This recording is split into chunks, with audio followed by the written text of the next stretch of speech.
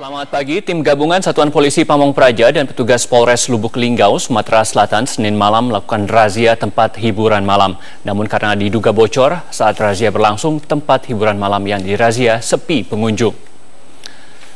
Petugas gabungan Satpol PP dan Polres Lubuk Linggau ini melakukan razia tempat hiburan malam. Dalam razia, petugas memeriksa kelengkapan perizinan tempat hiburan malam yang sesuai dengan yang ditetapkan pemerintah kota Lubuk Linggau.